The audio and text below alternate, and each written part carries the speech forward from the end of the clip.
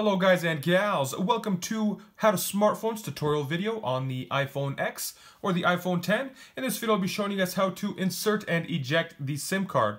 So what we're going to want to start off with is pulling out a SIM eject tool. Uh, if you don't have one, anything like a pin, a needle, anything with a sharp sturdy point uh, like that will do the trick. And then when you have get your device, what we're going to look for is on the side with the power button, there is a little slot with a hole in it. So what we're going to go ahead and do is our SIM, uh, the SIM remove tool, insert it in the hole, and apply a little bit of pressure.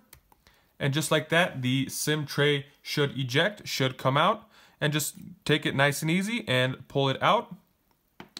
So just like that, you have your SIM card and that's the SIM tray. And as far as installation goes, the way to um, put them in, if you were taking them out, you just go ahead and put that back into its spot, um, just like it was when you pulled it out. And as far as installing the SIM card, there is a corner of the SIM card that it is that is removed.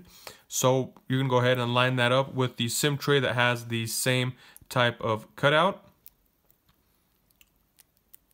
So once you have it nice and flat, you will then line up the hole on the SIM tray with the hole on the actual phone so it will only fit in one way. So if we're trying to install this way, um, that's not the correct method or not the correct way to do it. It will not work. Um, the holes line up. Once you have that, go ahead and just slide it in and just like that, once it's flush, you know it's all the way in and doesn't stick out. So that is how to insert and eject the SIM card on the iPhone X. If you guys have any comments, questions, or concerns, go ahead and drop them in the comments section below. Any kind of feedback, go ahead, let me know. If you guys would like to see other tutorials on the iPhone X, go ahead and check out the iPhone X playlist in the description below. Thank you guys for watching. Have a nice day.